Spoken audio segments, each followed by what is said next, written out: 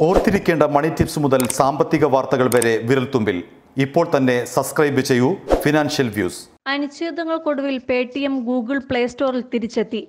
വാതുവയ്പ്പുകളും ചൂതാട്ടങ്ങളും പ്രോത്സാഹിപ്പിക്കുന്നു എന്ന കാരണം ചൂണ്ടിക്കാട്ടിയാണ് പേ ടി എമ്മിനെ ആൻഡ്രോയിഡ് പ്ലേ സ്റ്റോറിൽ നിന്നും ഗൂഗിൾ പുറത്താക്കിയത്.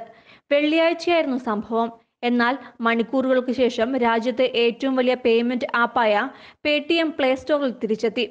ഇതേസമയം കമ്പനിയുടെ ഡിജിറ്റൽ ഗെയിമിംഗ് പ്ലാറ്റ്ഫോമായ ഫസ്റ്റ് ഗെയിംസിന്റെ വിലക്ക് ഇപ്പോഴും നീങ്ങിയിട്ടില്ല.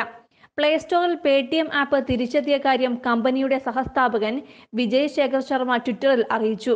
വെള്ളിയാഴ്ച രാവിലെയാണ് യു പി ഐ അടിസ്ഥാനമാക്കിയുള്ള ക്യാഷ് ബാക്ക് പദ്ധതിക്ക് പേ ടി എം തുടക്കമിട്ടത്. ഇക്കാരണത്താലാണ് ഗൂഗിൾ പേ ടി എമ്മിനെ പ്ലേ സ്റ്റോറിൽ നിന്ന് പുറത്താക്കിയതെന്ന് വിജയ് ശർമ്മ ട്വിറ്ററിൽ വ്യക്തമാക്കി. ക്യാഷ് ബാക്ക് നൽകുന്നത് ചൂതാട്ടമാണോ എന്നും സംഭവത്തിൽ ഇദ്ദേഹം ചോദിക്കുന്നുണ്ട്. നേരത്തെ ഒരു തരത്തിലുള്ള ഓൺലൈൻ കസീനോ ചൂതാട്ടങ്ങളോ ചട്ടം ലംഘിച്ചുകൊണ്ടുള്ള സ്പോർട്സ് വാതുവയ്പ്പുകളോ അനുവദിക്കില്ലെന്ന് ഗൂഗിൾ ഇന്ത്യ ബ്ലോഗ് പോസ്റ്റിൽ വ്യക്തമാക്കിയിരുന്നു.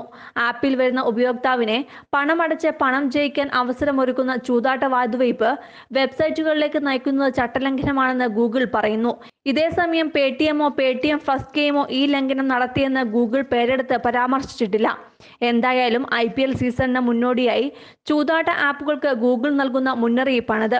നിലവിൽ ഫാന്റസി ഗെയിമിംഗ് കമ്പനിയായ ഡ്രീം ഇലവനാണ് ഐ പി എല്ലിന്റെ ടൈറ്റിൽ സ്പോൺസർ. ഗൂഗിളിന്റെ നീക്കം ഡ്രീം ഇലവന്റെ ബിസിനസിനെ ബാധിക്കുമോ എന്നാണ് ഇപ്പോൾ ഏവരും ഉറ്റുനോക്കുന്നത്. ഫസ്റ്റ് ഗെയിംസ് മുഖേന പേടിഎമ്മും ഇന്ത്യയിൽ ഫാന്റസി ഗെയിമിംഗിൽ കൈകടത്തിയിട്ടുണ്ട്. എന്നാൽ ഫസ്റ്റ് ഗെയിമിന് പ്ലേ സ്റ്റോറിൽ കിട്ടിയിരിക്കുന്ന വിലക്ക് കമ്പനിയുടെ കണക്കൂട്ടലുകൾ പാടെ തെറ്റിക്കുന്നു. ഐ പി എൽ കാലത്ത് വലിയ ശതമാനം ഡൗൺലോഡുകൾ ആലിബാബയുടെ പിന്തുണയോടെ പ്രവർത്തിക്കുന്ന പേടിഎം പ്രതീക്ഷിച്ചിരുന്നു. നിലവിൽ എട്ട് കോടി സജീവ ഉപയോക്താക്കളുണ്ട് പേടിഎം ഫസ്റ്റ് ഗെയിമിന് ഈ വാരം ആദ്യമാണ് ക്രിക്കറ്റ് ഇതിഹാസം സച്ചിൻ തെണ്ടുൽക്കറിനെ പേടിഎം തങ്ങളുടെ ബ്രാൻഡ് അംബാസഡറാക്കിയത് നടപ്പ് വർഷം പ്രൊമോഷനും ഫാന്റസി സ്പോർട്സിലുമായി മുന്നൂറ് കോടി രൂപയുടെ നിക്ഷേപം പേടിഎം നടത്തിയെന്നതും ഇവിടെ പ്രത്യേകം പരാമർശിക്കണം. നിലവിൽ dream eleven my team eleven my eleven circle തുടങ്ങിയ ഫാന്റസി ക്രിക്കറ്റ് ആപ്പുകളും ഇന്ത്യയിൽ സജീവമാണ്. News desk financial views